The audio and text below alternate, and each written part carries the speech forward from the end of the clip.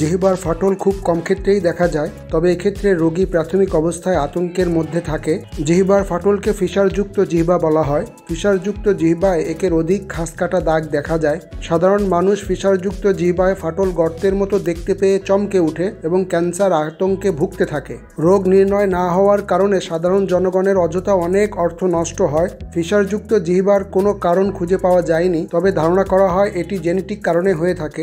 ফিসারযুক্ত জিহ্বার রোগ নির্ণয়ের জন্য বায়োপসির প্রয়োজন হয় না। ফিসারযুক্ত জিহ্বার সাধারণত কোনো চিকিৎসার প্রয়োজন হয় না, তবে মুখের স্বাস্থ্য খুব ভালো রাখতে হবে। জিহ্বার উপরিভাগে ব্রাশ করা যেতে পারে, যাতে করে জিহ্বার খাজে অর্থাৎ ফাটলযুক্ত স্থানে কোনো প্রকার খাদ্যদ্রব্য জমে না থাকে।